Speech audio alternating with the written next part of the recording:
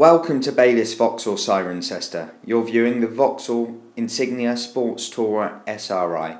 This is a Network Q approved used vehicle. With a recorded mileage of 26,719, this comes complete with service history and book pack.